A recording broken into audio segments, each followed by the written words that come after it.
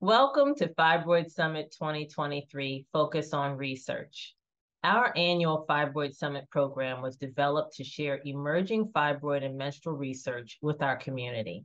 The summit is unique because it is hosted by patients and because most of the questions come from patients who have lived the unique lived experience of managing fibroids and, in many instances, having undergone treatments. When women are diagnosed with fibroids, they have simple questions. What are fibroids? What caused the fibroids? What are the treatment options? Will they come back? And what can I do to prevent them from returning?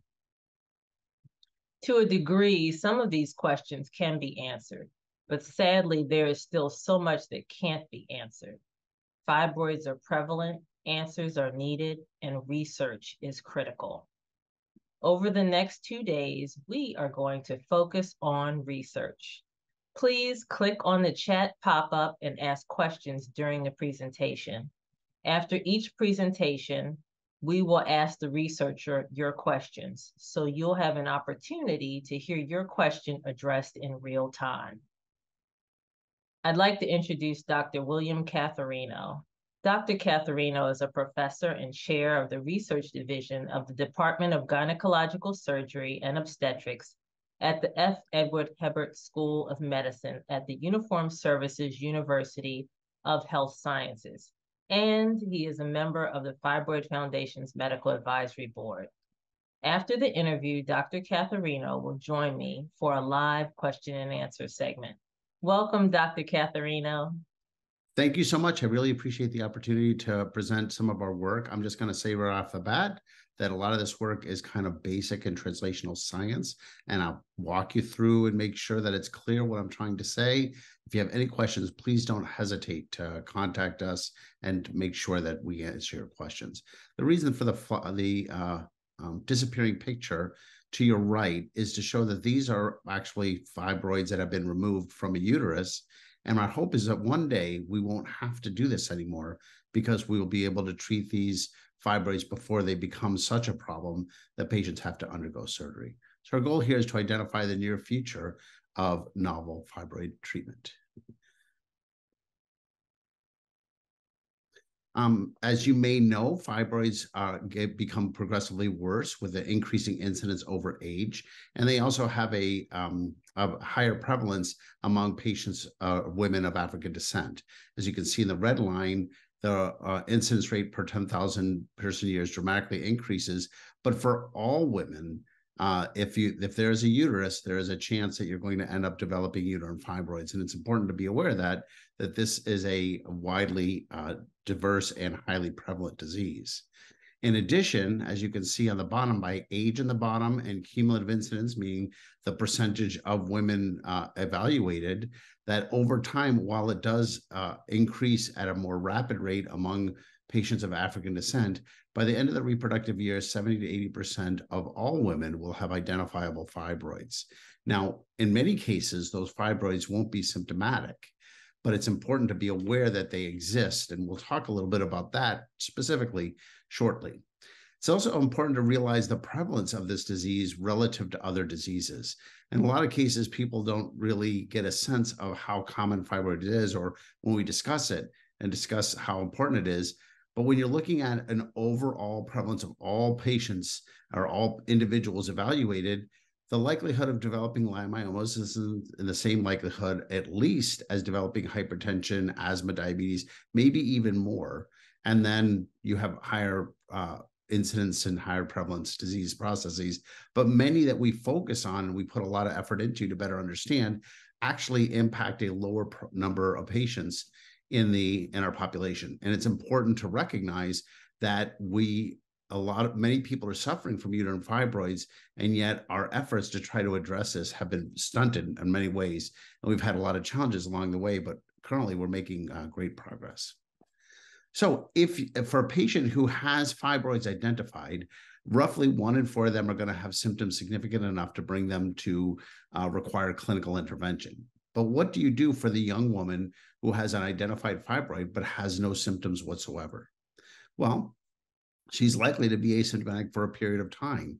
It's unclear exactly how long, but depending on where the fibroid is located, depending on how many there are, and other characteristics, um, the there's a increasing chance of symptomatic uh, outcome. Once a that those symptoms develop, then we have various therapies, and you may have heard from other lecturers and other speakers uh, various therapies, and I'm going to talk a little bit about those as well. But none of these are really developed to delay or prevent the outcome of the patient or the woman who has a uh, asymptomatic fibroid. So the challenge is if you understand and know that you have fibroids, there's a stress that's involved in recognizing that at some point this will become symptomatic and potentially so symptomatic to require dramatic interventions. And yet, right now, we do not yet have something to provide for these women to be able to assist them and try to keep this fibroid at bay. Um, I'm going to be talking for the most part when we're talking about uterine fibroids, we usually evaluate various aspects of what the fibroids cause. Again, many patients are asymptomatic. However, the most common symptom that people will present with is heavy menstrual bleeding. They may also have pelvic pain, pelvic pressure, um, difficulty urinating or uh, stress urinary incontinence, dyspareunia, meaning a painful intercourse, dyschezia, painful bowel movements, due to these fibroids and an impact on fertility or subfertility. Now, I'm a reproductive endocrinologist, so a lot of my focus is on uh, fertility and subfertility, but I am not focused only on this. I'd like to rec- recommend you to take a look at heavymenstrualbleeding.com as I represent the United States in a international collaboration evaluating ways in which to deal with heavy menstrual bleeding, not just from fibroids, but certainly among women who are suffering from fibroids and having menstrual bleeding. I'm currently evaluating in the laboratory other potential causes of pelvic pain that may be associated with uterine fibroids. But today I'm going to be mainly focusing on the impact on fertility and subfertility. I just want to make it clear that there are other areas that are of uh, import that are relevant to a wide range of people.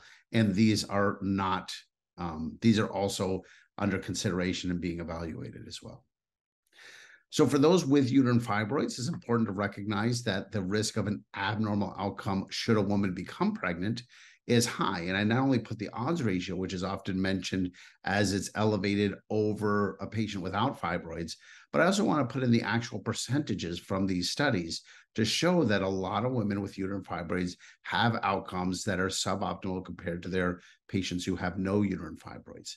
As, as you're evaluating and looking at these numbers, they they are pretty dramatic. And it's a challenge to do these studies, as you can imagine, because it depends on what you mean by a fibroid. Is it the number of fibroids? Is it the size of the fibroids? Is it the location of the fibroids? And also based upon characteristics of the patient. Is the patient um, in her early 30s, late 30s, early 40s, early 20s, late 20s? Um, those can all have an impact. But fibroids overall tend to have a negative outcome among among patients who are attempting to deliver a child. In addressing how we look at various therapies, it's important to recognize what therapies exist and how long have we evaluated them. So I put here the surgical, radiologic, and medical options that we have, have had at our disposal over time. And as you can see, hysterectomy and myomectomy, especially where an incision is made in the abdomen, have been around for over 100 years. And so we know a lot about these interventions. We know that they can work for the treatment of uterine fibroids, and we know that they come with fairly substantial side effects associated with uterine fibroids. We developed uh, treatments like endometrial ablation and GnRH analogs to address different aspects of what we know about uterine fibroids. For for example, with en, uh, with endometrial ablation, if the endometrium is completely destroyed, which is what this does, it burns away the endometrium, then the likelihood of having heavy menstrual bleeding goes away. However, it's not treating the fibroid; it's only preventing that heavy menstrual bleeding as best as it can. It may not even complete that uh, effort. So, as a therapy, it's a quick therapy, but it may not necessarily be one that is, uh, it doesn't necessarily solve the problem. And it certainly isn't curative because it's not treating the fibroids. GnRH analogs are therapies that are used to decrease the exposure to, to hormones that come from the uh, gonads, like estrogen and progesterone. And by doing that, it decreases the stimulatory effect on the of these hormones on these growths. That's how they work. So when you take them take these hormones away, the fibroids do tend to decrease in size. However, symptoms occur because you've given these medicines, including hot flashes, uh, potential loss of bone, other issues that may, in the long term, be a challenge for women who are suffering from uterine fibroids. And then I've listed other more recent therapies on this uh, chart to give you a sense of what's going on.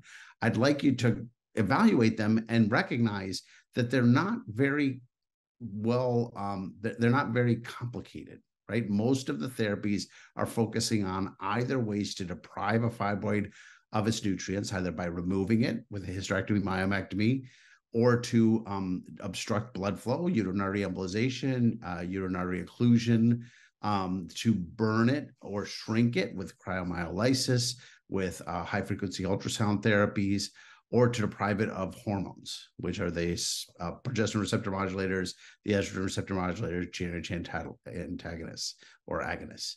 These various therapies all form the basis with which we our current therapies are built, and they're not terribly complicated as far as uh, what we know about uterine fibroids. And ideally, would like to know more so that we can have a better directed therapy. One point I always like to address here is there's an argument that hysterectomy is the solution to uterine fibroids. Once the uterus is out, a woman cannot develop any more uterine fibroids. To which I respond, well, then removing all some to removing someone's teeth is a cure to to cavities. You'll never have a cavity again by taking the teeth out. You never have to worry about it again. Don't need to worry about braces. Don't need to worry about anything like that. But is that really cured? Is that really a solution? And I point out the fact that um, find me an organ anywhere in the body that is more miraculous than the uterus. It can grow to 50 times its normal size. It can support life. Then find me an organ treated with less respect. We talk about removing the uterus as if it's trivial. Once it no longer serves a function, remove it. If I asked a bunch of people to remove just the tip of their pinky and leave everything else alone, leave the knuckle alone, everything like that, no one would sign up for this but we're willing to do a, a major surgery to remove a essentially a major organ and treat this as if this is the the right process. I think we can do better, and I think we will do better. There's been a, a, a transition over time in multiple fields, looking at how we move away from surgery, and I've just listed a couple here to address various ways in which we have moved from a surgical intervention to a non-surgical intervention and we this these are just a few i'm sure you could think of others. And ultimately these tend to be more patient friendly as we remove the risks uh, and uh, complications associated with surgery and identify ways in which we can treat without surgery we tend to have better outcomes and a far more satisfied person who is getting relief and isn't necessarily put at great risk so I think these are just an example. These are a few examples of ways in which we should be constantly thinking about ways of solving the problems without requiring surgery. Now, this is always a challenge because when we go to funding agencies to discuss this, there's not a lot of interest in looking at diseases such as uterine fibroids. One argument is that they're not cancer, they don't metastasize. The patient isn't likely to die from the metastatic spread of uterine fibroids. That is true. They are not cancer. However, they are highly symptomatic and highly prevalent. So it's important to recognize the, the morbidity and suffering that a lot of women are undergoing. And they can be cured again through hysterectomy. They can be cured. But again, is this the appropriate cure for such patients? And then one uh, argument that I've heard is that well, there there are women with fibroids who can have babies, so that's good enough. As long as there's at least one woman who can have a baby with uterine fibroids, then that means that fibroids aren't that big of a problem. Again, it depends on where the fibroid's located, depends on how many, the size of the fibroids. So there's a lot of women who have a lot of difficulty having babies. It's a lot of women who have heavy menstrual bleeding, have a lot of pelvic pain that are unrelated to these. And ultimately, one of the challenges we have is that there is no National Institute of Women's Health. We have a National Institute of Child Health and Human Development, and that focuses on child health and human development in general. But there is no institute for women's health where we would address diseases that are unique to women, like menopause, like uterine fibroids, like endometriosis, that really don't fit in well with other areas. And this is an area where I think we could all work together to try to develop something that could result in an institute that specifically focuses on these issues instead of doing them uh, whenever we whenever a institute happens to have some sort of interest in it or feels pressure to provide some support for it. All right off my soapbox let's move on. Let's talk about uterine fibroids. And what do we know about uterine fibroids? This is a picture here and i'm not sure if you can see my arrow but the cervix is down here. The uterus has been cut in half and this big white world object represents the uterine fibroid and as you can see, it can take up a lot of space within the uterus. It's clearly a different color. The, the red of the uterus may remind you of something like steak, which it should because it has that meat kind of coloring because it has a very good blood supply. So you can see the fibroid is mostly white. And the reason it's mostly white is because it's mostly scar tissue rather than fibroids. Fibroids aren't a big ball of cells, they're a big ball of scarring that gets in there. And clearly, as it scars, it can't do the things that normally would happen, like support an endometrium, support a uh, pregnancy. It, it, it, doesn't have the structure for that. So, one clear characteristic of uterine fibroids is all of that excess scarring that, that you can see here. Well, years ago, um, I was looking at this and looked at how what does it look like between fibroids and the surrounding normal tissue, which is called myometrium. As you can see here on the upper panel stained in blue on the left, A, you see the fibroid, which is mostly that blue color. That's all this um, dense what's called extracellular matrix or fibrosis. On the right, you see the myometrium has some blue, but you notice that it's kind of organized in a way to kind of to develop muscle bundles that will allow for efficient uterine contraction. So this is dramatically different. And then when you look at it really closely, and this actually is done in in uh, combination with Dr. Phyllis Leppert. You may have seen one of the earlier episodes here. You can see that the little um, strands shown on the lower left are widely spaced and are relatively disorganized, whereas they're pretty well organized if you look to the lower right in the myometrium. So there's clearly something about this, this area surrounding the cells that is different. There's a there's a excess production of this fibrosis and it's clearly disorganized. Well, one of the challenges we I had when I first started in this field is that we didn't have much else to work with at that time. We could get surgical specimens and we could stain them for a protein, something like that, but we did had no control either before or after, and it was very difficult to do organized studies at that time. So we spent a good amount of time trying to develop new model systems to better study uterine fibroids. We were able to bring it into the laboratory to create kind of standard tissue culture specimens, shown here as two-dimensional culture, and then ultimately create a three-dimensional culture so that the fibroids were growing as a 3D object, or essentially we're growing fibroids in the laboratory. And this opens up a lot of doors to allow us to better understand how fibroids develop one thing that was very important early on was to make sure that we were growing fibroids and not growing out some other cell line that happened to be there that would grow very fast. So we spent a good amount of time identifying genes and proteins that were unique to fibroids and elevated or decrease in fibroids compared to the same the, the muscle tissue or that myometrial tissue that surrounded it. And we identified them in tissue and then confirmed that they continued to be disrupted in both two-dimensional and three-dimensional cultures. So these served as a very good model for us to uh, be able to identify uh, characteristics that resulted in fibroid development. Now, one of the things that we started to look at was something called curcumin. And curcumin is kind of an interesting compound. It comes up uh, quite a bit uh, as a potential therapy. Um, one of the great things about curcumin is that it acts in many different ways along many different uh, pathways to control inflammation, control um, uh, uh, cancer growth, those, those sorts of issues. Um, and it has a very high, what's called bio, uh, I'm sorry, very high therapeutic index. Um, and therapy, what that means is that you can eat an awful lot of curcumin or turmeric, um, and you it doesn't really cause you any problems. There's not a lot of side effects.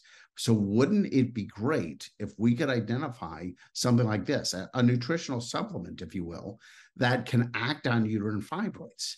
Well, that would be very helpful. One thing we did in our laboratory years ago is that we said, well, can curcumin affect the, the fibrosis associated with uterine fibroids? And shown uh, here on the on the bottom list is increasing concentrations of curcumin, and on the right, how much of a difference there is. And you see a steady decrease at higher and higher concentrations of curcumin. And what this tells us is that, yes, it could work. This is a possible therapy. But remember, this is in vitro. And one of the challenges you have in vitro is that I can put the compound directly on the cells. But the question is if I give this to a person or a, a, a laboratory animal, are they able to actually get that curcumin to the animal or get to, to the fibroid itself? And this creates some of the challenges with regard to nutritional supplements. These would be wonderful therapies for primary prevention for that woman who has that uterine fibroid but has no symptoms. If we could say, here is a medicine that you could take that's just going to keep your fibroid at bay, keep it from not growing for as long as you want to take it. And you know, if you want to have a baby, then you have a baby. And in fact, you can keep taking this medicine because it doesn't really have an impact on this on on this uh, on your pregnancy and then you keep going and you, your fibroids never cause you a problem. That would be a wonderful dream. However when we look at it and i show a couple of examples here bioavailability is always a problem. What bioavailability represents is the um, how much of the of the compound is actually getting into the body when you take it orally. So you, the hand on top is roughly the amount of vitamin e that you would need to um, uh, to be able to get the effect that we see in vitro with vitamin E treatment. And on the lower left, a lower panel, this is roughly the amount of resveratrol that you would have, or the amount of red wine that you would have to drink to get a sufficient amount of resveratrol to have an effect. So this becomes an obvious problem that in the absence of good bioavailability, these therapies aren't terribly helpful. And I apologize for the outside noise. So one thing we did is in order to answer this question, in order to address this, we had to create an animal model system so we could test these various therapies. And I can show you, maybe you can see it here. I'm going to try to circle with my arrow. We were able to grow our three-dimensional cultures right on underneath the skin. And you can see it here on the right, the three-dimensional culture growing so that we could grow human uterine fibroid, what are called xenografts, or culture transplants into mice. We could grow them in um, mice and allow them to develop. The excellent thing about this is that, unlike other model systems, which can only usually grow out to four weeks, ours could grow out to at least 12 weeks and continue to grow. And it allowed us to be able to develop a lot of therapies because we knew that these tumors were in fact growing, and therefore we could assess the effect of what happened if we treated it. So before we started these these studies, one thing that I thought was very important is that we would put the curcumin in the um, chow for the mice, because if it was impossible for the mice to eat enough curcumin to get an effect, then it really didn't matter if we showed an effect. If we injected it and saw an effect, but no one was going to do daily injections of curcumin, it wouldn't make sense to to to continue evaluating this therapy. So the first question was if we put it into the chow, will the mice eat it? And um, will that will it get into the bloodstream? And the answer to both of those is yes. The mice didn't lose weight. They apparently enjoyed their turmeric um, flavored uh, mice chow, and we were able to get very reasonable concentrations of both curcumin and which is CUR and various metabolites of curcumin, CG and CS, as identified here. And I, I put the uh, reference down below if you're interested in more of the specifics. Then when we looked at the impact of, of uh, uterine or treatment on fibroids, what you see is the um, L stands for leiomyoma or fibroid, control CON and curcumin CUR. M is myometrium or that normal tissue. And what you see is this center line here is aligned to heap and ion. You see a decrease in tumor volume with treatment with curcumin. But with the normal myometrial cultures, you see no real effect. So what that means is that it is specifically acting on the uterine fibroids so as to um, decrease the fibroid size. That's a very, very encouraging finding because this is something that could be taken in the diet and had a direct effect on uterine fibroids. But then the question is how? What what's going on? So we started to look at the tissue. Again, this should hopefully look a bit more familiar to you. You see in, in a normal case, this compact extracellular matrix. And the, remember the blue staining I said stains for kind of that uh, that fibrous material, the this fibrosis that you'd see. And you'll see in the absence of curcumin, it's kind of it's dense and it's this dark blue. When we treat with curcumin, the this blue staining is much lighter, and you also see part of, also see part of it where it's very loose. And what that suggests is something that's I think really critical for the treatment of uterine fibroids. Um, one thing that it, it let me give an analogy. If I were to develop a therapy that treated all cancer cells specifically and left every other cell alone, I deserve a Nobel Prize. If I develop a therapy that kills every single fibroid cell and leaves everything else alone, I haven't really helped. Because the problem is all of that scar tissue, all of this scar tissue, it's still there. And I have a, another slide of a fibroid that's 5,000 years old from burial ground in Switzerland. If you don't do something about that fibrous tissue, it's not going anywhere. Well, if I can convince the cells to start breaking it down into this loose ECM uh, extracellular matrix of fibrosis, and I can get it to break that, that down, then I've really made a big difference. This fibroid is going away. It's not just shrinking, it's in fact being broken down. And that's what this medicine appears to do. Now, one thing that's important is when we're looking at fibroids, especially for patients who are trying to get pregnant, what impact does fibroids have? Well, we believe as a field that fibroids inside the uterus that are in, in the lining are a problem and we'll remove those. We believe that those that are on the outside don't tend to impact pregnancy per se. So, unless they're very large or creating uh, a, an obstruction of something like that, we tend to leave them alone. But the fibroids that are inside the wall of the uterus, we really don't know the answer to that. And we, so you can see here, we've done a, a whole bunch of different studies, and we still can't answer that question very well because it's, as it turns out, a very hard question to, to answer. But the reason it's important is what do you do if a woman has a small fibroid in the lining of her uterus and she wants to get pregnant? Well, it's possible that that fibroid can cause a problem. It's possible that it will cause no problem. So, do you operate? Do you surgically remove it? Is that what we should be doing? Well, surgery has its own risks, right?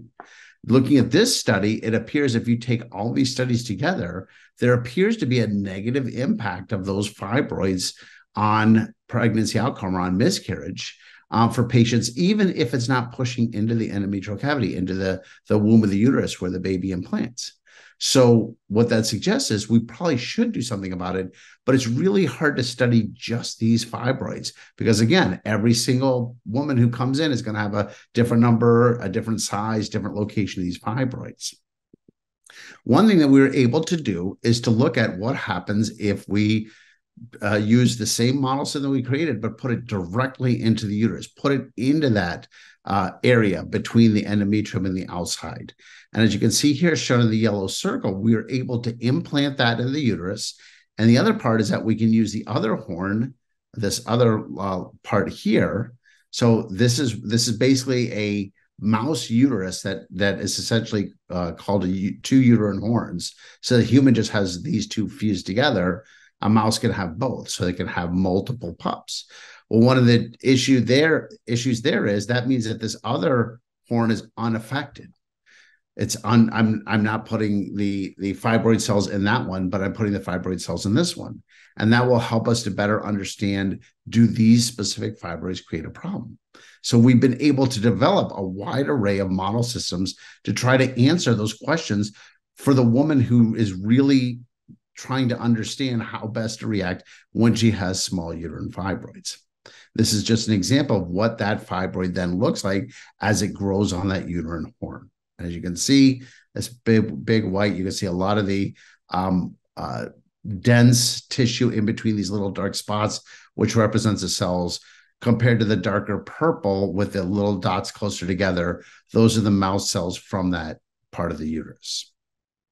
So we have a whole bunch of questions because we have this model system. Do the fibroids disrupt uh, embryo implantation? Is that how they work? Do they respond in that way? And if they do, then it gives you some sense of how we should potentially counsel patients as to whether we should ignore them or treat them. Can we develop a model for heavy menstrual bleeding? Well, we have not yet done that, but that is also part of our intent is to better identify that so we can understand how heavy menstrual bleeding occurs in women because we don't really know. We know how to treat it to some extent, but we don't really know how it happens. If we better understand how it happens, we may be able to intervene without so many side effects. And then, can we expand this model to study early disease uh, therapies to look at patients who have a little bit of disease versus increasing disease? So, the big question is are we at the beginning of the end or the end of the beginning. The data here that I hope you'll agree is promising, is a very encouraging that it can have that effect. It's widely available. You can go onto any search engine and find it, which means that, by the way, I have no financial association with this compound at all, nor could I, because you certainly could just buy it on your own right now. Um, it's pretty inexpensive, and you can also just put it into food directly, and it's very safe for consumption. People can take large single doses. Now, we don't have a lot of information beyond several months with regard to very large doses, but we have we can demonstrate that generally speaking, this is a safe nutritional additive. But the problem is that we don't really know how this works in humans. I provided some evidence to suggest that it could work on human disease but I haven't done it in humans. And that's where it becomes a bit of a challenge. We don't have long term data on what would happen for that, let's say, 24 year old with a two centimeter fibroid. Well, she may choose to continue using curcumin for 30 years, perhaps. Well, we don't have any information to suggest that that's a good idea or safe. So we don't know the answer to that. And this is why we really need to proceed with clinical trials to confirm safety and efficacy. And I've highlighted the fact that because there is no National Institute of Women's Health, there's not a lot of interest in doing that. And I can also tell you that we can't really talk to pharmaceutical companies because why would they sponsor a study when they can't, there's no medication for them to sell? The, the, the medication's already easily accessible through many different sources. So there's not a lot of opportunity to really motivate uh, in uh, large groups to invest in these types of, of uh, studies.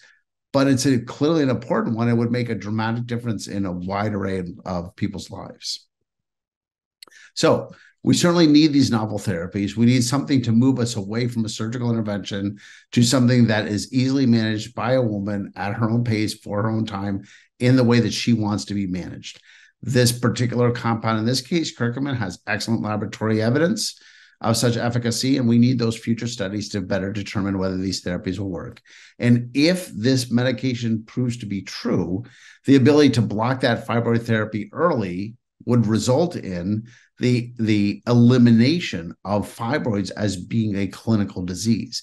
It could be forestalled to the point where it no longer causes heavy menstrual bleeding, pelvic pain, pelvic pressure, uh, problems with achieving or maintaining pregnancy, because you could address them at an early age. And with that, I'd like to thank you so much for your attention. I really appreciate it. And I'm thrilled to answer any questions.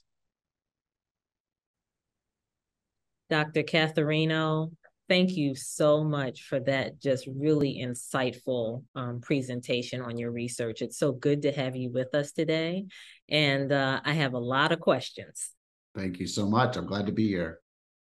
So I'll, I'll just jump right in. There are so many topics that you touched on that are huge talking points for us uh, in terms of our community and in terms of our outreach and advocacy in terms of legislation. And so I'd like to start at a macro level and then start to get closer to some of the revelations that you presented on curcumin. That's fascinating, if that sounds okay.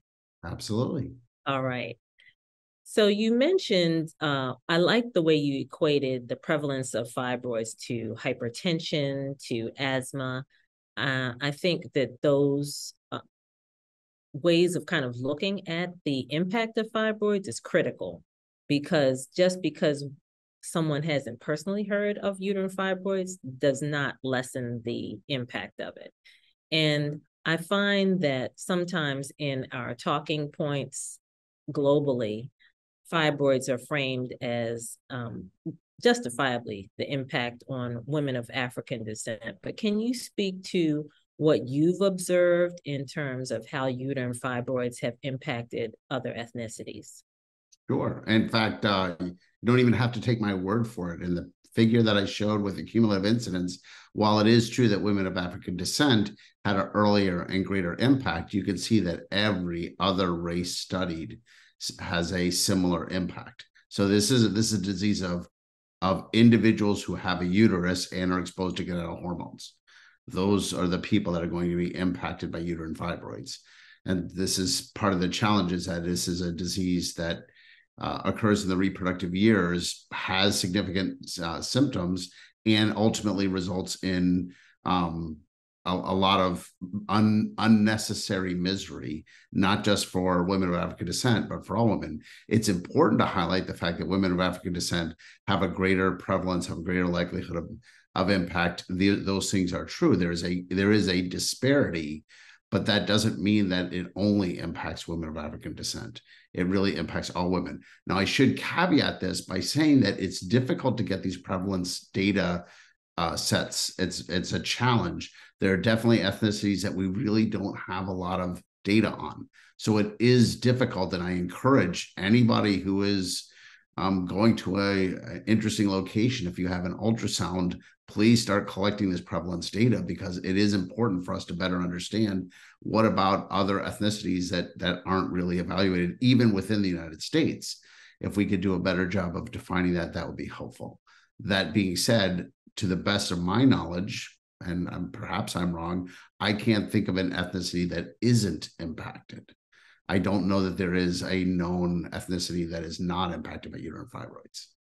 Thank you so much for clarifying that. That's huge in terms of our advocacy. So I really appreciate that. So I looked at your wonderful graph of the surgical, radiologic, and medical uh, treatments that we know of today. And I thought that not only is it succinct, it just really in one snapshot does a fantastic job of conveying relevant treatment options in a way that's easy to observe, absorb rather, I, I believe.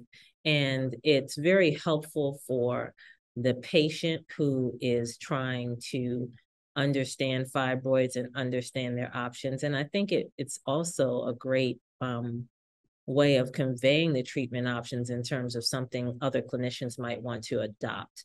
Uh, was it, do you have any um, specific aims for how that particular chart might be leveraged?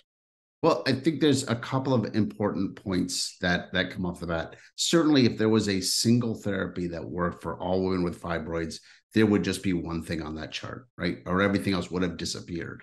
Um, so it's important to recognize that many people are trying to come up with many mechanisms to treat the many women who are suffering with uterine fibroids. This is a, this is common. That's why we have so many attempts to try to identify a novel therapy. There's clearly a drive to move from surgical to minimally invasive to medical therapies. That's an important drive and you can see that that it kind of comes diagonally, I guess, from your, your view that way, um, that that you see a a increasing effort more recently to come up with alternative therapies. But certainly, surgical intervention has been effective and continues to be effective as one treatment option, but not the only treatment option.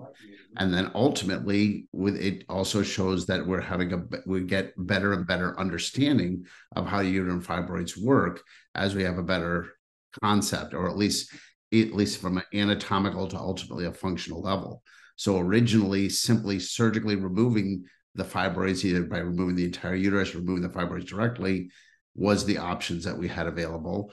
Then we could move to where we damage surrounding tissue to prevent heavy menstrual bleeding. That would be ablation, obstruct blood vessels. Again, these are simple concepts to understand how to treat uterine fibroids. And then we're starting to get into the nuances of how do the hormones actually stimulate fibroid growth and what happens if they're deprived of these hormones and that's kind of the era that we're in now. And hopefully, we're going to be able to continue to move and develop even more novel therapies that don't have associated side effects that allow us to provide treatment early in a woman's reproductive lifespan so that one, she doesn't suffer on a regular basis, and two, her reproductive options and her life options are opened up and she's not put in a position where she has to make personal choices as to how she wants her life to go that she wouldn't otherwise have chosen but for those fibroids. Those are very important points as well. I i really appreciated your comment on moving away from surgery the the concept of moving away from surgery and also you stating that the uterus is not treated with respect because it absolutely is not and the stigmas that we constantly combat societally really reflect the lack of respect for the uterus and the gift that the uterus is to our society and to all of our lives. Um, I'm really fascinated with that concept of moving away from surgery. One, because I know that our community would love that. You know, when you look at the global searches on uterine fibroids, the top question is one of the top questions is always, how can I avoid surgery? So when we're looking at, at these therapies, it's really important to really understand how precious the uterus is to the patient. And hopefully uh, it will become to society at large. I I really wonder how, if you have any thoughts on how we can continue to convey that message across the clinical community, so that they in turn hopefully can reassure the patient community that that is a focal point or do you think it's too premature for that? Well no i, I think it's i think you're exactly right. We need to call it out that that you know we could say rationally people could live with one lung so who's going to sign up to remove a lung nobody mm-hmm. we could live with one kidney who's going to sign up to have a kidney removed nobody we could live without a big chunk of our skin. Anybody want to do skin grafts? And no, nobody's going to sign up for this. So, in every other area, the concept of surgical intervention is is very way down on the list. Most people would not consider it as an option. Now, one again, modern medical miracle, the concept of a cesarean section allowed us to start operating on the uterus and getting a sense that we could operate and leave the uterus in place and in effective delivery. And so we've gotten good at being comfortable operating on the uterus in a scenario where the uterus was, in fact, functionally normal. Now we're talking about, well, now that we can do that, you know, it, it makes it less of a jump to say, is it really necessary to maintain that uterus? And that's a very different question than it is okay to remove the uterus um, you know, we can come up with lots of scenarios where it makes complete sense to remove the uterus, where there's a cancer involved, where there's heavy bleeding that cannot be controlled. In surgical emergencies, that makes complete sense. However, we've kind of gone down that slippery slope of saying, well, if it's if the uterus is inconvenient, then that's a time to you know remove the remove the uterus. Well, you know, I might have a little back pain sometimes. My back is inconvenient. It's not an option I don't consider of, well, maybe I should have my spine removed because, you know, then I won't have to worry about that anymore. I'll have many other problems, but I won't have that problem. So this we've we've essentially created this false sense that this is going to solve problems without creating other problems. And again, there are times when it's going to solve more problems than it creates. But if we can come up with other therapies that can provide even greater benefit at less cost to the patient, then that's exactly what we should be doing. And we haven't ended the story of uterine fibroids by saying she can simply have a hysterectomy. That's that is uh that's not not sufficient. It wouldn't be sufficient for anyone to consider that with any other tissue or any other organ. It's simply not sufficient for uterine fibroids as well. Uh, that's huge. And I couldn't agree more because you're essentially throwing the baby out with the bathwater. I think that, you know, as you stated, there are circumstances um, under which a hysterectomy makes sense because it's more advantageous for that patient to have the hysterectomy than to not have it. But there are many other considerations that should take place prior to jumping to hysterectomy. So, again, I appreciate that overview, which is so thorough and so important to convey to our community and and clinicians as well. Um, clinicians are um, are an important part of our community. How vital it is to really have that conversation comprehensively. So thank you for that. Yeah. I am super intrigued about growing fibroids in the lab, and I'm curious how long has it taken to accomplish that? Um, it's it's a it's taken several decades of work and certainly it's a project that has involved many many people. Um, i've just been fortunate to be part of this great experiment that we've been doing. And i don't recall let me just go through this again. Way back in the day we had nothing. Like when we started in the early 2000s if you wanted to study uterine fibroids you had two choices really. You had either to go into the operating room obtain some tissue but at that point you had no control of why the woman was there what was going on at the time what she had eaten or been exposed to who she was. You had no, no control over that. And then you would just do what you could in the laboratory and then you'd go back and have a totally different patient. So it was very difficult to get consistent information. We had that or we had situations where we had models and a model is better than no model but the models that we had really weren't replicating human disease. They were an entirely different disease process. So this created some of the challenges of how do we study uterine fibroids? And this led to the first question of I can grow cells out. You can take a bit of tissue, put in a plate, the cells will grow out. But the problem is the cells that are most likely to grow out are fibroblasts. They grow really fast and really well. And if you don't do something about that, all you're going to do is have a bunch of cells that don't really define what fibroids are. They're just human fibroblasts. So we had to identify what was a what molecular changes occur in fibroids so that we could then confirm that our cell lines were in fact fibroid and myometrium. So that took a while, as you can imagine. And this is early and you know we were just getting microarray online so we didn't have a lot of those options to really best define this. It was really just brute force. Um, then developing the 3D model was again the brainchild of, of Dr. Malik. It was a very important step because we recognized that most of the fibroid is all that fibrosis tissue. And to be able to develop that three dimensional model completely changed the way in which we both approach fibroids and the way in which we work with them, because then you can just grow the fibroid, allow it to grow in a three dimensional space and you can evaluate the impact that various therapies or exposures are having on that. So that's really made a huge difference in our ability to understand fibroids as they grow because we can watch them in the laboratory. But the one limitation we had there is we want to treat patients and we want to know what happens when patients are exposed to certain things. We want to know if these tumors can stimulate their own blood supply because anybody who's been in the operating room with fibroids sees all of these unusual blood vessels that tend to surround fibroids. We know that fibroids are somehow supporting that blood supply, but we don't really understand why.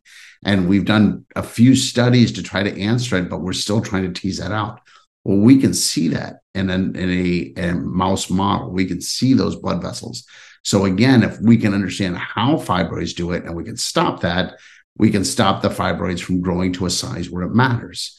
If we just have very, very small fibroids, they're not going to have that much of an impact. And if we can intervene early, we can make an enormous difference. So the model systems really mattered for us to be able to answer questions that are more and more patient relevant. And it it does, it takes time, it takes a lot of effort, but it's been a joy to be able to be part of this process to be able to answer some of these questions. And again it's not just me. Dr Leppert is a great leader in this. Dr Segars is a fantastic leader in this. Dr Al-Hendy dr marsh. There's many many many people. I don't i, I fear saying names because i will leave people out who are tremendous leaders and my mentors along the way as well. So it's been an honor to be even part of the community Wow, that's a beautiful sentiment, and I completely understand uh, that as well. And I was about to say that I appreciate those decades of dedication um, for all parties involved in that research because it really is a game changer. And the blood vessels that you describe that are in and around the fibroid that, excuse me, that we don't completely understand all of the dynamics there yet are one of the things that really make the uterine fibroid challenge and experience agonizing for the patient because those blood vessels just pulsate and it's it's a, a, a, feeling that's so hard to describe. And then you compound that with it occurs for possibly one to two days as it did with me every single month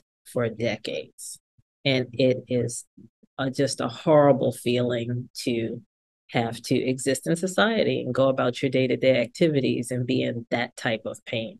So i really am looking forward to the expansion of of that work and and and the fibroid foundation um, supporting you know you and team with with furthering the examination of of those types of impacts um, on the women that have uterine fibroids. Um, I think that's fantastic. Thank you. Uh, Thank you for your support. Of course. Uh, so your your your picture with the what was it five bottles of wine had I giggled when I saw that. Uh, it was pretty funny, and it and your mention of vitamin E reminded me of something. And and and viewers, please don't be shy. Ask questions. I am monitoring the chat. Uh, I'm looking forward to hopefully, um, you know, letting your voices be heard today. I think it's so important for us to interface with our amazing presenters by sharing what's uh, immediately on your minds.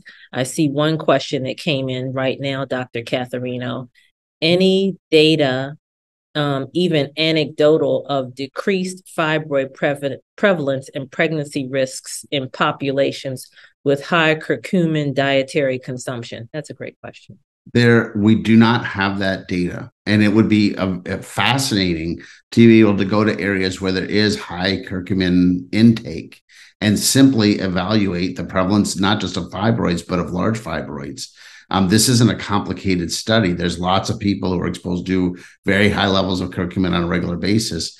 We simply don't have anybody who has gone out there and done these studies. And I, I would, I welcome those studies. I welcome the studies in every area. If we identified a group of people who were, you know, had very, very low prevalence, that would be important to better understand what environmental factors could be involved.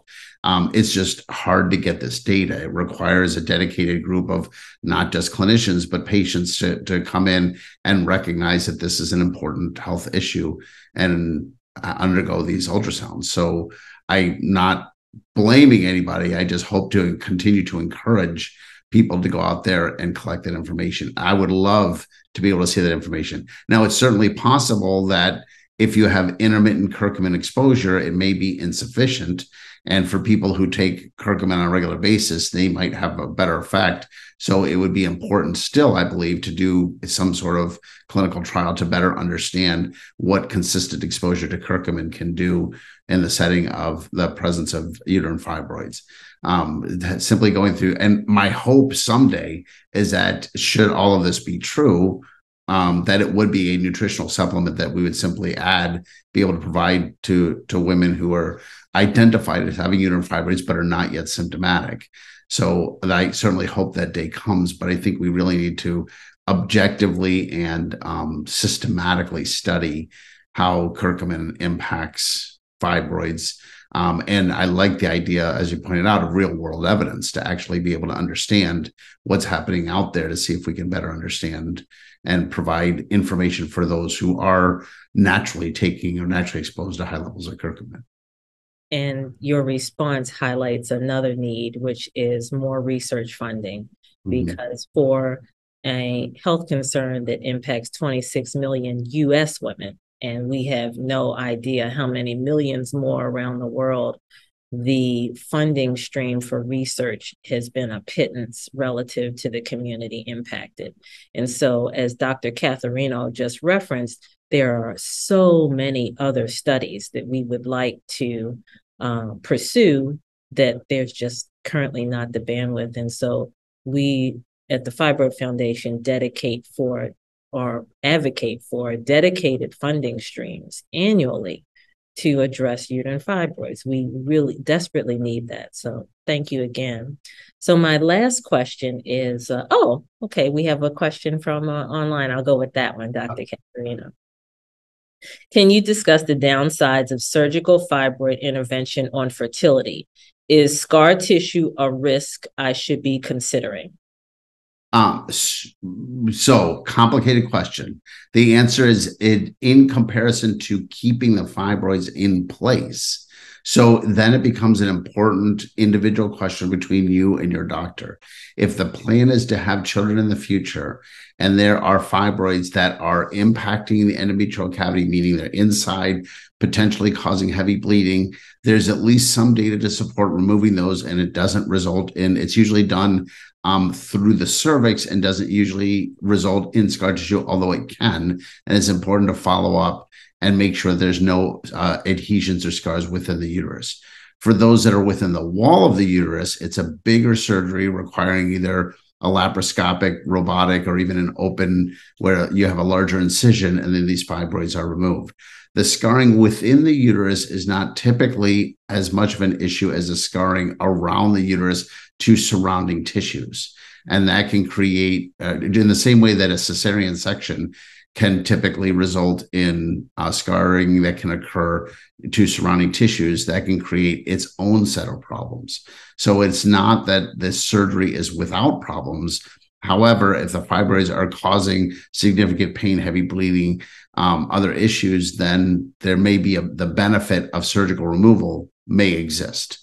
And so that's why it's important to talk about all the options, including surgery. It's an option. But in the end, is the value of the surgery uh, greater than the risks or complications of the surgery? And that's a, a on an individual level. It's hard to come up with a general statement as to whether it is consistently or is not consistently. And I'd like to highlight um, another statement that you made that's so critical when you were discussing um, in vitro application of some of the treatment modalities that you're researching. Mm-hmm. Because you mentioned vitamin E, and I couldn't agree more because oftentimes online there are um, recommendations from non physicians to apply various oils to the abdomen. And when I was desperate for treatment, I tried that and it was disastrous. Like it took so long for the oil, I won't say which one, to parse through my abdomen. I was hemorrhaging for hours and hours and hours, and there was nothing I could do about it once that once my body had absorbed that oil. And mm. I, your point about making sure that the application is direct to the or isolated to the actual area of, or fibroid or area of concern is super critical for those in the community whom I understand are suffering, are trying to find treatment options, may not be able to afford a surgical intervention or may not have a provider near them to provide a surgical intervention. Please be very careful about applying uh, oils to your abdomen and other uh, treatment options that you read about online. Everything needs to be incredibly well vetted to ensure that you're healthy and safe. So thank you for that, Dr. Catherino. Thank you. It has been such a pleasure to speak with you as always. We just really uh, value you uh, as a member of our medical advisory board, and you always bring such fantastic contributions to this space. And uh, I have just so appreciated your presentation today. And thank you again for spending this time with us. Thank you so much for inviting me. It's been a pleasure. Thank you.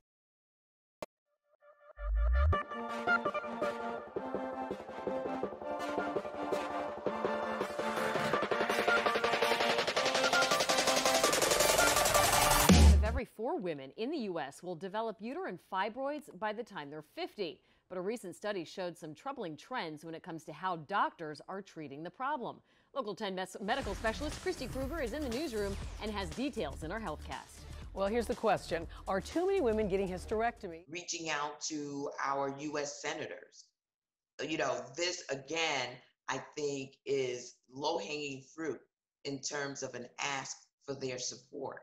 Mm-hmm. And I think that we can't be shy in expressing to our leadership in the United States House of Representatives what an imperative this is for us. And so, where uh, we can get uh, women across this nation mobilized and emphatic about them sponsoring this legislation, mm-hmm. that's the momentum we need to get it signed into law. We're trying to destigmatize conversations about fibroids. Talk to your friends, talk to your coworkers, your family about fibroids. Issue that impacts 26 million women a year in America, but rarely talked about.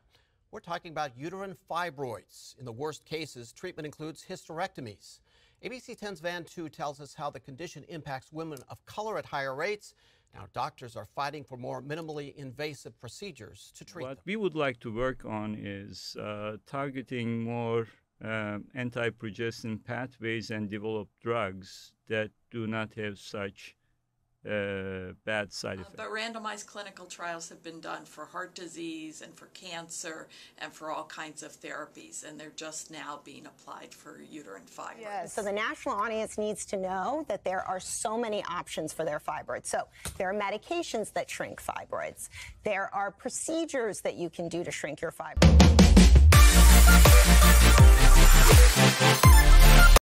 I'm excited to share an interview I taped with Dr. Serdar Bulun, a researcher at Northwestern University. Dr. Bulun has managed a significant number of fibroid studies and is incredibly passionate about uncovering the causes of fibroids and endometriosis. In this interview, Dr. Bulun will share his research results on how phthalates or plastics affect fibroids.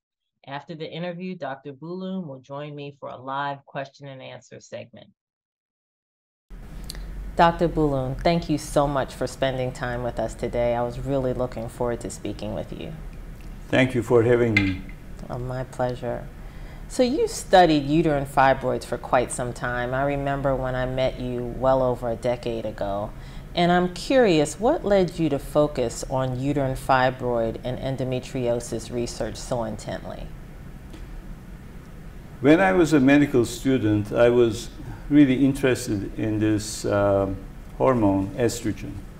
Um, estrogen biology fascinated me. Mm. And this led me to the question uh, what kind of tissues estrogen works on both uh, normal and uh, pathological. And endometriosis and fibroids were the um, most important uh, problems or public health issues uh, in our country that are affected by estrogen. That kind of what got me into the field. That is fascinating to me because I'm just learning how pivotal estrogen is on the body as a whole. Um, so that's that's I'm very curious about that. So from your studies over the years, what has surprised you the most?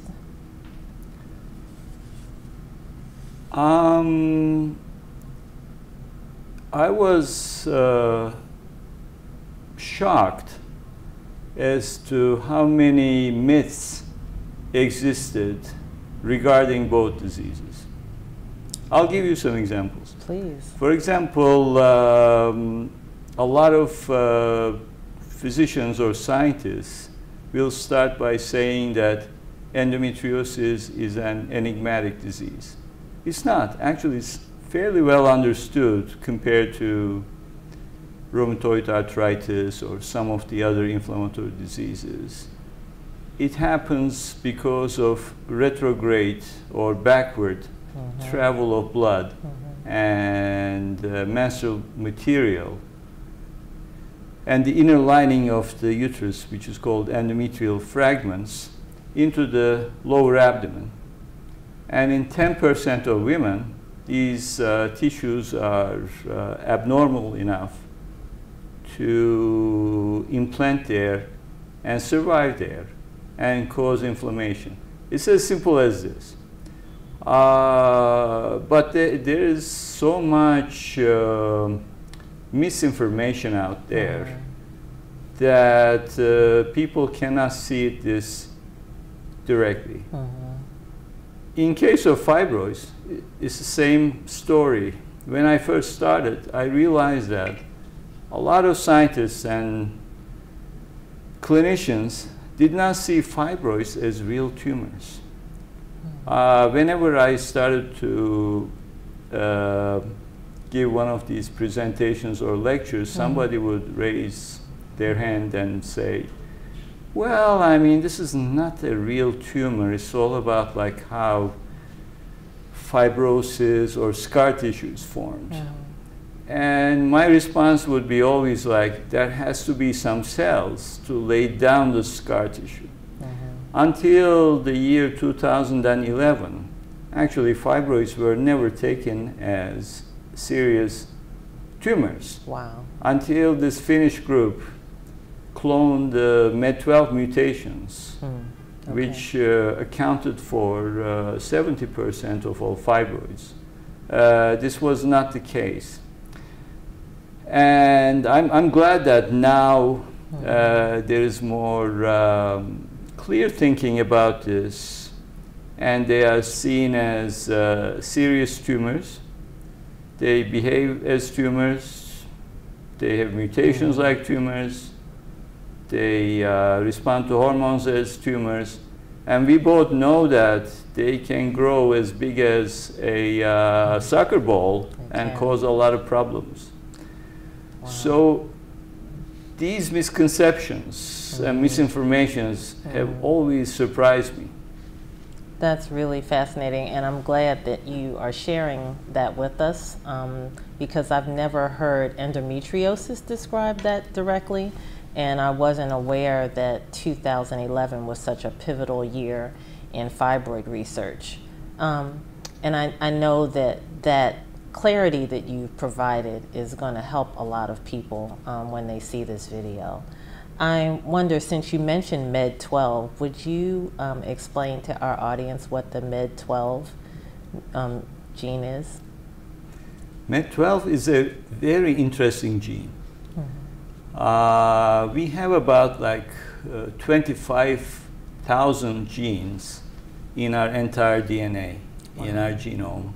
And the DNA is the same sequence in every cell that we have. Mm -hmm. MED12 is one of these 25,000 uh, genes, and it encodes a protein. Both the gene and the size of the protein are humongous compared to other genes in our body. Mm -hmm. The product of this gene, the protein, uh, serves a very important function in the DNA. Basically, what it does is it helps DNA to fold in a certain way so that other genes would encode messenger RNAs wow. and proteins uh, in a proper fashion so that these cells would uh, act normally. Mm. So the mutation occurs only in one of the chromosomes. As you know, we all have hmm. like two chromosomes, uh, two pairs of chromosomes of each in uh, all of our cells. The mutation happens only in one chromosome, but it's not corrected by the other normal okay. allele. And this leads to a uh, chaos as to how genes are um, expressed and respond to progesterone. In fact, that's what we discovered in my lab. The changes in MED12 gene and the mutation leads to a chaotic production of proteins that lead to a uh, tumor environment. That is so interesting because I'm thinking back over my own medical history and I'm going back about 20 years now where I was prescribed progesterone on more than one occasion and it caused heavy menstrual bleeding and when I spoke with the clinician, they told me that it would help with the fibroids, but it did the exact opposite. So what you just described with Med 12 is just clarifies for me what I was experiencing as a patient but didn't understand the science behind it. So thank you for sharing that um, with us. And I'm sure that many of our listeners have not heard of Med 12, which is some very important research to, know, to be aware of. Um, so I'm so thrilled to speak with you about your recent study on phthalates. Um, and your phthalate research is groundbreaking, the findings. What are phthalates and how are we impacted by them? Phthalates are environmental pollutants and they are not considered as serious as some of the other pollutants, uh, such as, for example, dioxin mm -hmm. or BPA. Um, and uh, this is not because they may not be as dangerous, but we do not understand them well. Therefore, many governments across the world have not banned phthalates through legislation, which is another interesting mm -hmm. subject. Uh, we were interested in phthalates because we heard that if a woman has a higher uh, concentration of phthalates in her urine, mm -hmm. she would be at increased risk for ha having a fibroid. We were really interested in this. Yeah. right around that time, we discovered that this MED12 mutation affects uh, the tumor cells, the fibroid tumor cells, in such a way that the tumors start producing a internal hormone named kynurenine. Wow. Uh, because of inappropriate activation of an enzyme. And kynurenine goes and binds to a uh, receptor called AHR. And once kynurenine activates AHR, all sorts of bad things happen in these tumors. The mm-hmm. tumors grow faster, they survive longer, they don't respond to treatments. And a very smart uh, fellow mm-hmm. Uh, who studied here and went back to his uh, home country, Japan now, mm -hmm. Dr. Iizuka, suggested that we should look at phthalates and see whether phthalates stimulate this mechanism of mm -hmm. production and AHR activation. What he found was, uh, in fact, phthalates did increase the kynurenine formation.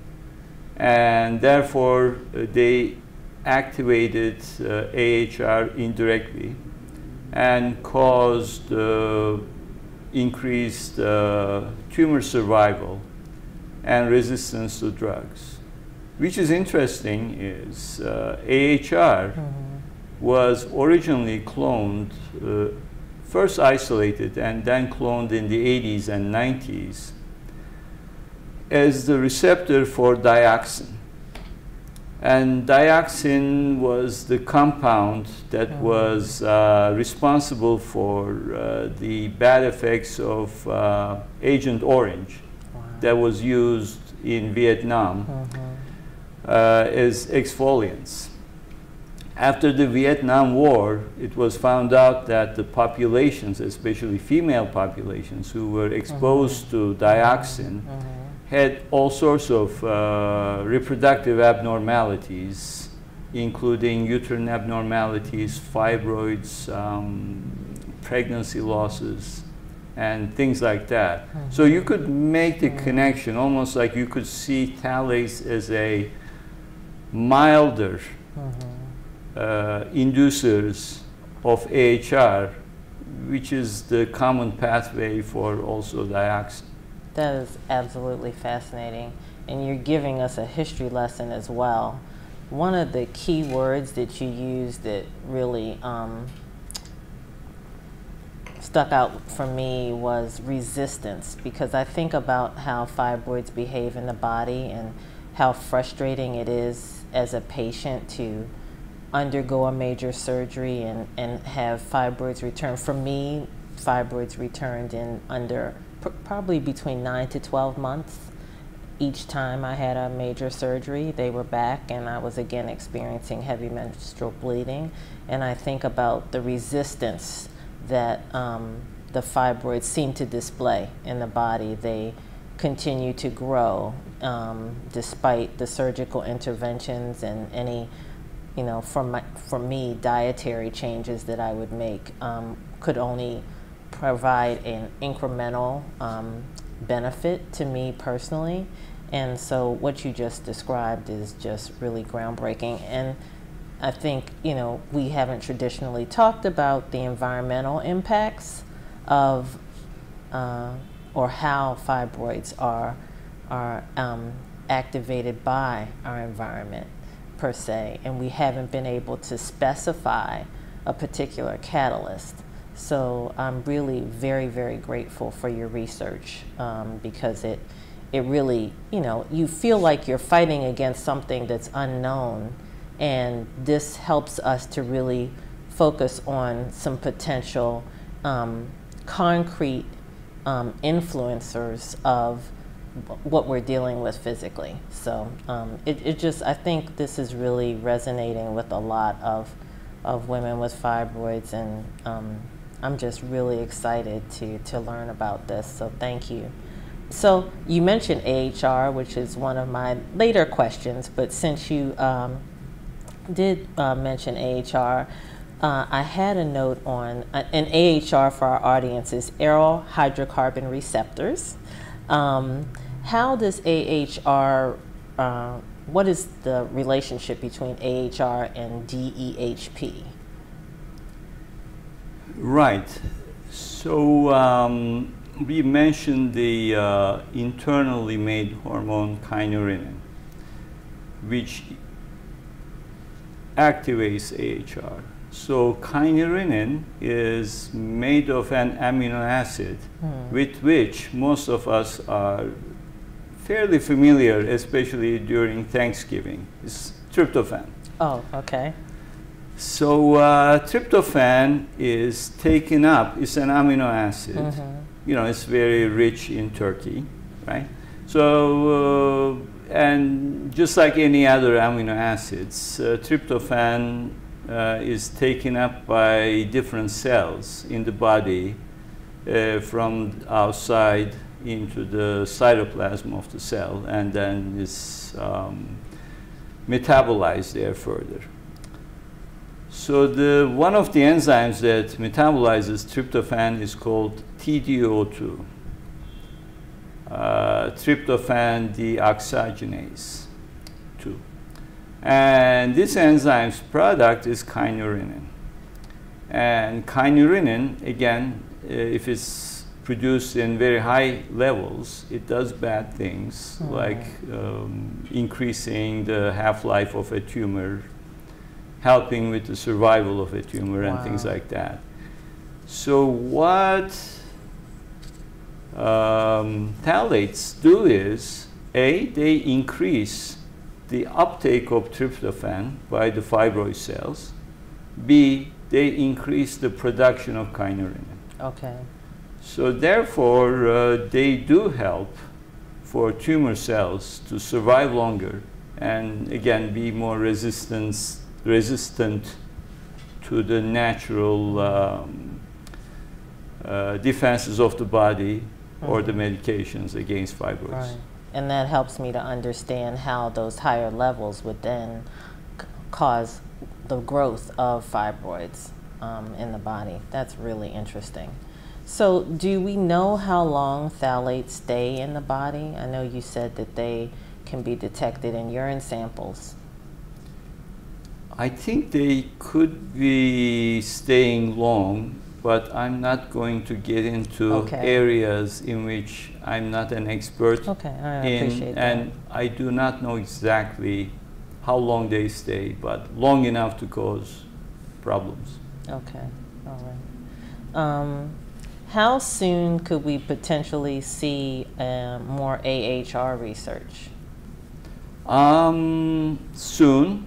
Okay. We are uh, working on it actively. I suspect there may be more laboratories, mm-hmm. both in the US and other parts of the world, who might be acting, uh, mm-hmm. who might be working mm-hmm. on AHR. I think it's a very important target. Me too. For yeah. fibroids. I do too.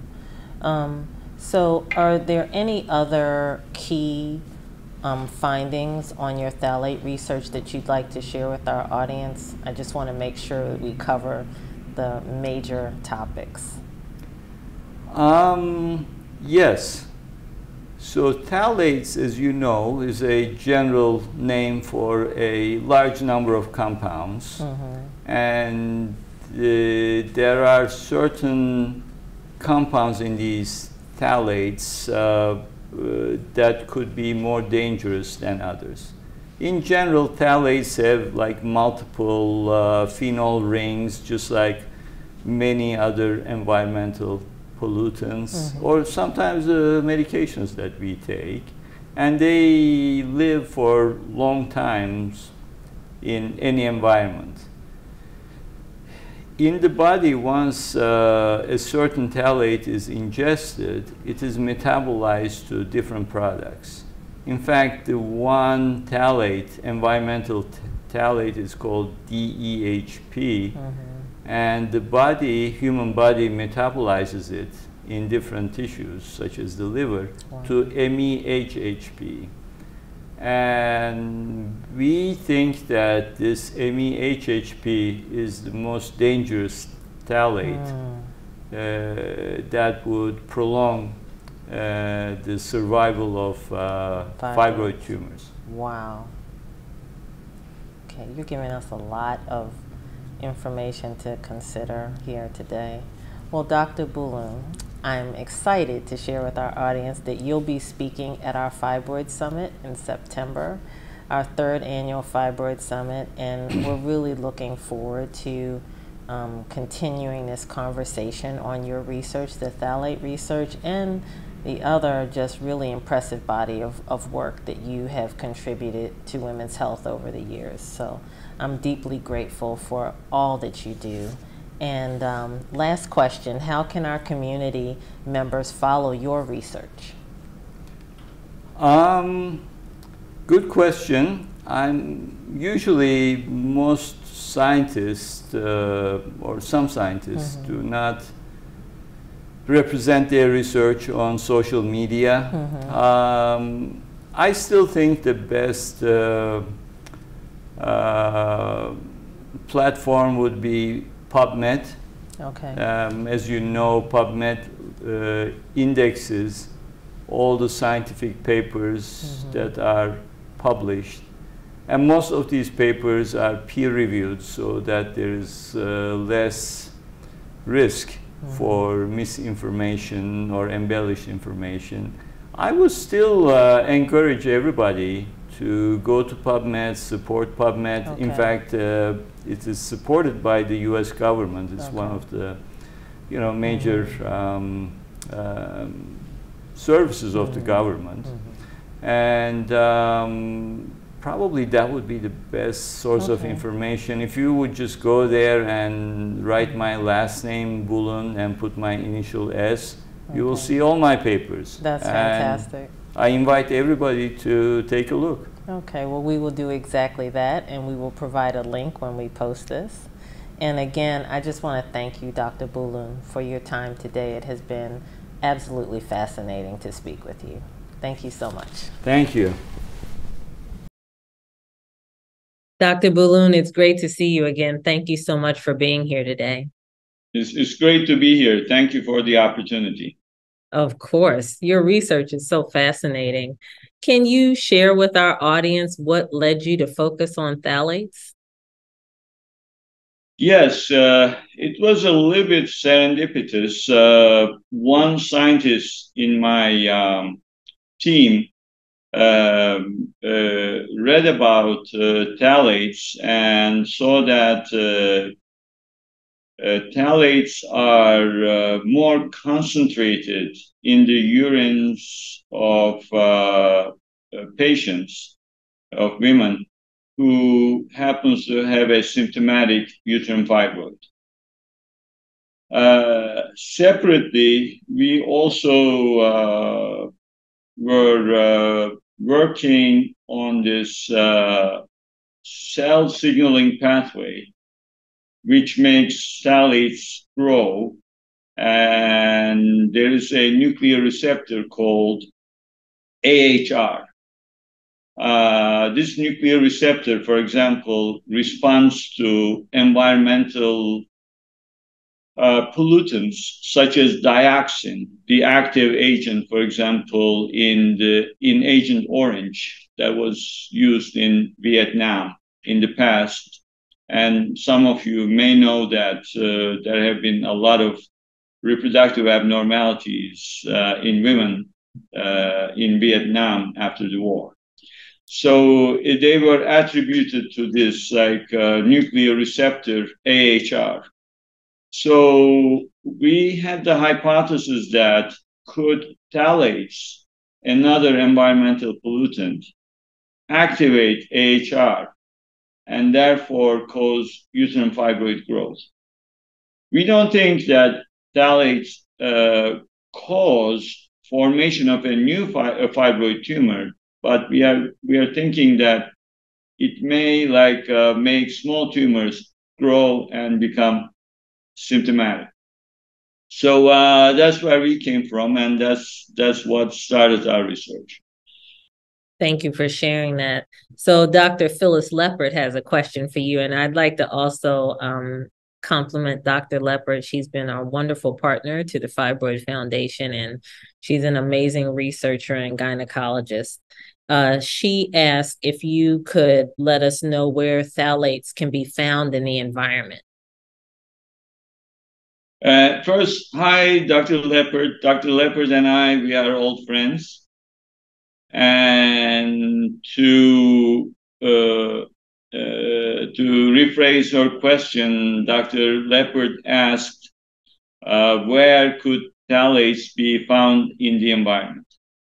So Phthalates are plasticizers and they are uh, really used uh, uh, a lot uh, in many products that we use. Some of these products could be as simple as like window uh, windows and you know some parts of the windows, some like um, um, some material used in architecture. But uh, the worried part is like a lot of pallets are uh, phthalates are used in plastic, in plastic bottles, in in cosmetic products, for example, uh, na- uh, uh, for example, in nail products, in hair products. Uh, so in in like food storage um, industry. So they are, we think that they are like, uh, you know, um, they are in our system and they get into our system, into our bodies through various ways. And one way of like measuring them is to, you know, the gold standard has been to measure the phthalate levels in the urines of women. And um, and and as I uh, indicated earlier, uh, if phthalate levels are high, there's a higher uh, risk for a woman to have a uh, symptomatic fibroid. Dr. Bulun, I'd love to, as a follow up after today, um, be able to share with our community some ways to minimize phthalate exposure in their environment if you are aware of anyone who can speak to that or any person on your team? Because that's a question that we get frequently because of course once we know that the impact of the phthalates on our bodies it's um very intriguing for us to want to know how to manage that process.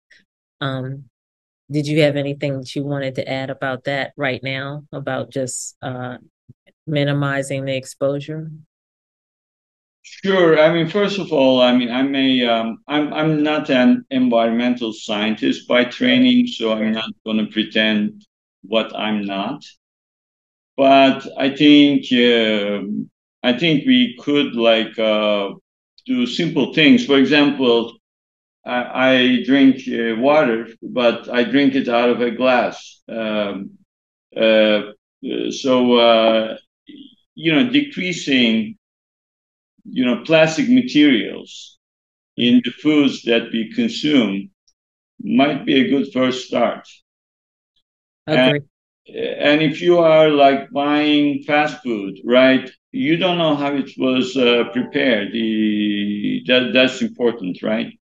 Um, so I would encourage everybody uh, to make sure that what you eat is uh, first see what you eat. I mean, prepare your own food like buy your own food, prepare it, stay stay more aware uh, away from like you know how how they say how they joke about that's how sausage is made. We don't know how sausage is made, although it may taste good.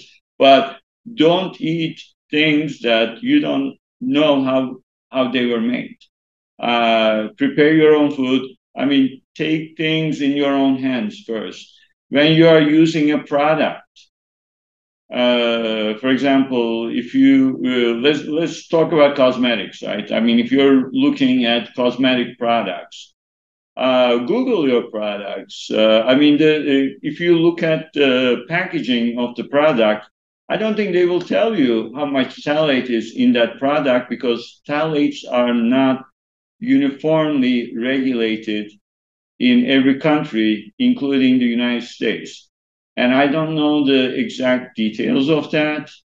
And I never may know this, but I think we can do a lot of things to control uh, what we expose our bodies to by taking personal responsibility. I mean, that's the first thing I would recommend to everybody. That's what I do. Yeah, that's what I've done thus far too. And I appreciate that feedback and we'll continue to definitely um, uh, access and environmentalists to help complement your research. And you mentioned that you published a new paper. Um, would you share with us what that new paper on phthalates covers?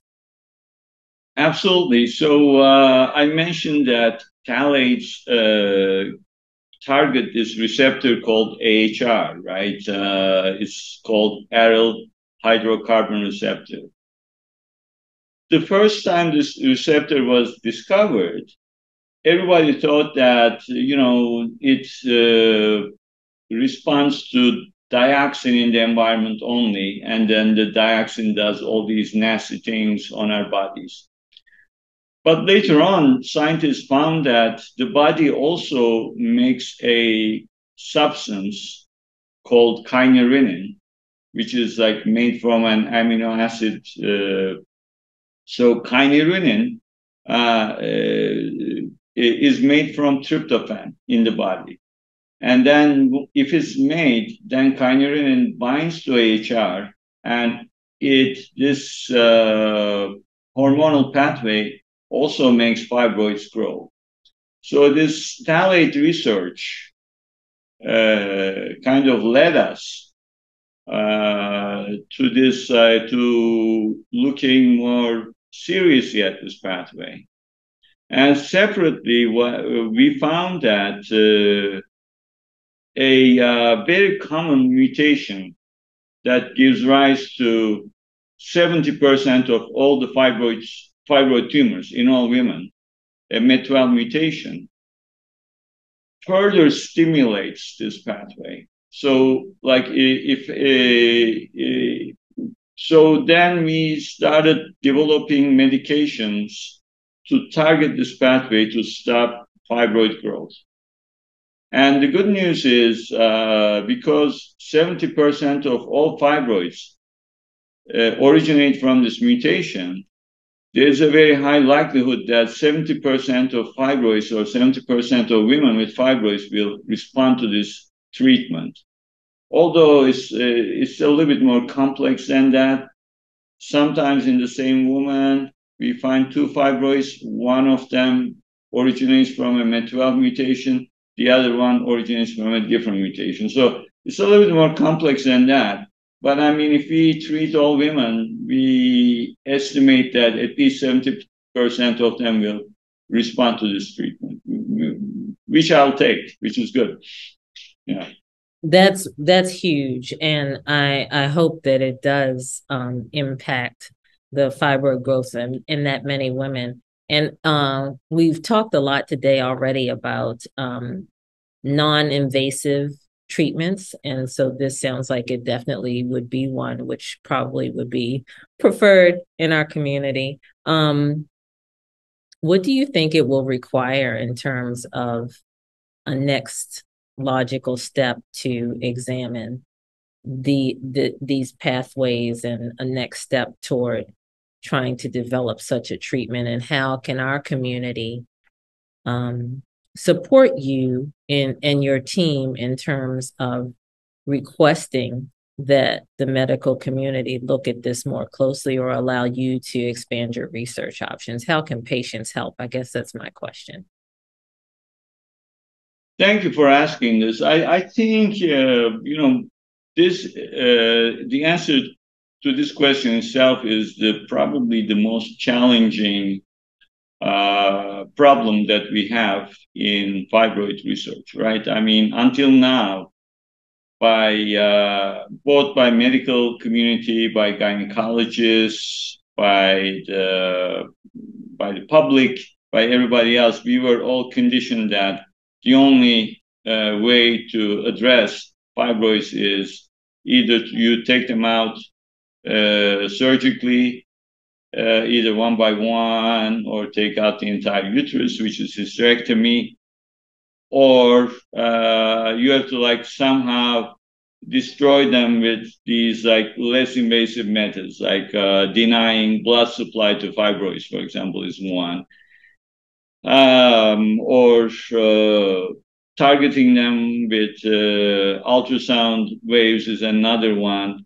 But like the uh, the studies that concentrates on like medical treatments really lag behind partly because like probably people did not believe that they would work to start with and partly because we did not know about fibroids i mean like the game changer in the entire fibroid field in my opinion was uh, this uh, science publication by uh, Dr. Aaltonen uh, from Finland in 2011. I mean, they demonstrated that each fibroid uh, originates from a uh, somatic mutation uh, that happened in uh, myometrial smooth muscle cells. I mean, that was a game changer. Unless you understand something, you cannot treat it or you cannot target it. So I think uh, what we can do is we can um, re-educate ourselves and uh, and our patient population and the clinical community, the medical community that no, we can't. We don't have to like uh, resort to hysterectomies and myomectomies and other physical means, but we can also. Um, there is a possibility at least to control the growth of the fibroids. So that, yes, a woman may have like a few fibroids, but they may not grow any further to cause uh, like significant symptoms. Mm-hmm. And a woman can uh, live with the fibroids because, as you know, probably sometimes it's, if you uh, perform an ultrasound study on all women, you know, in a community, uh, it's hard to find a woman without a fibroid.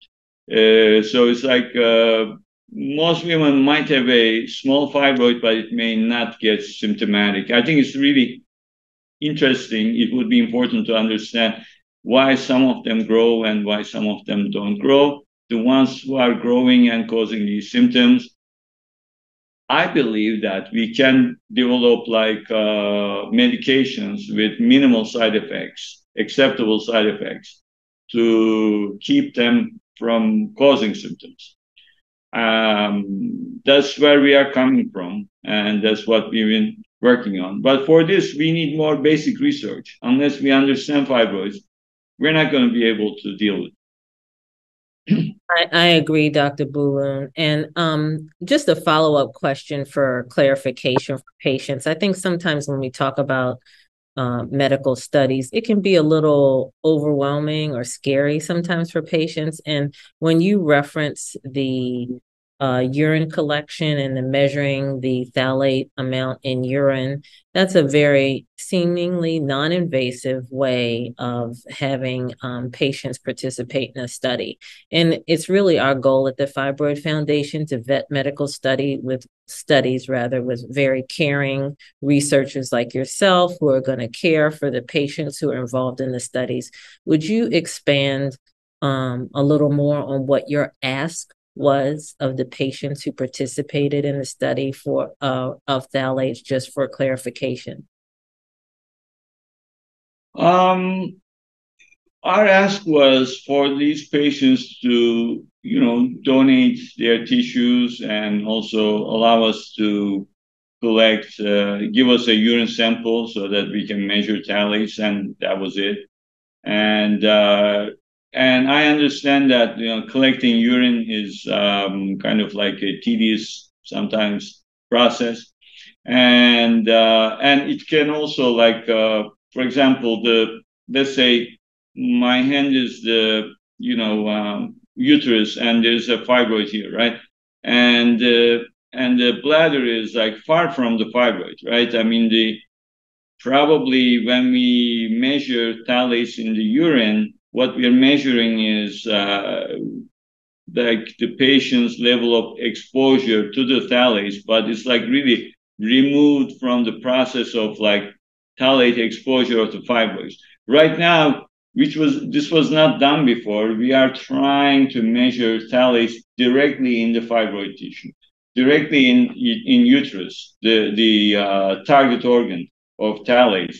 And I think uh, we believe that that's going to increase the accuracy, but we are not asking for patients to do anything extra. What we are asking is like if a patient goes through uh, surgery for fibroids, we are uh, what we are saying to the patients is, look, you know, um, uh, you know, the pathologist would look at your fibroid if it's not like malignant and like 99.9% of the time they are not, malignant, they are going to discard your tissue. Uh, would you allow us uh, to that tissue to be discarded to come to our lab so that we can work on it? So um, it doesn't cost the patient any money. It doesn't um, affect the treatment of the patient. It doesn't directly help that patient either, but uh, it helps the community of women who have fibroids, and in the future, this may lead to treatments. Thank you for explaining that. We have a question from our community online. Can you please explain why you believe that phthalates won't initiate fibroid formation but will increase size of existing ones? That's an excellent question. I mean, uh, I cannot, of course, say that with certainty that phthalates do not initiate fibroids. Yes, I mean, it's possible that phthalates can also uh, cause mutations, uh, increase the risk of mutations. But so far, I haven't seen any publications in which phthalates would uh, cause mutagenesis we think that uh, the mutations are caused in uh, in uterine cells, uh, interestingly by estrogen, by estrogen exposure, because like uterus is exposed to so much estrogen that's like flowing from the ovaries all the time. And estrogen could be like uh, some products of estrogen could be genotoxic. And I believe, I mean, this is just, this is like a total speculation. We haven't demonstrated this, but I think that there's like so much estrogen concentrated in uterine tissues that like eventually they, uh, they may like, it may affect the hot spots or uh, mutations and that's probably how these mutations start. But I have no evidence one way or the other whether, and I, I think the phthalates kind of like uh, uh, make these like mutated cells grow further, but you know this could be a wrong. Usually, this is what we do as scientists. We kind of like put out a hypothesis and either prove it or refute it. Well, I'm encouraged by the hypothesis that you've developed thus far. And our community has been incredibly responsive, which is exactly why we wanted to include your phthalate research in Summit as well as earlier this year, because our community was so incredibly intrigued uh, with this notion. Uh, and we look forward to learning more. And Dr. Bulun, I can't emphasize enough how much I appreciate uh, your history with study of fibroids and endometriosis over the years. And uh, we look forward to seeing the next evolution of this. And thank you so very much for being with us today. Thank you. Thank you for having me. Thank you for joining us today for this powerful and enlightening program. If you would like to join us in our efforts to support fibroid research, please visit our website, fibroidfoundation.org, and click on the research tab. If you're facing a menstrual health challenge, you don't have to make that journey alone. We encourage you to reach out to us to join a chapter near you, start a chapter, or just get general information. We look forward to seeing you again for the second day of Fibroid Summit 2023 Focus on Research. We strive to continue to share informative and enlightening research with you. Your input helps the research process tremendously. Together, we're making a difference. Thank you and be well.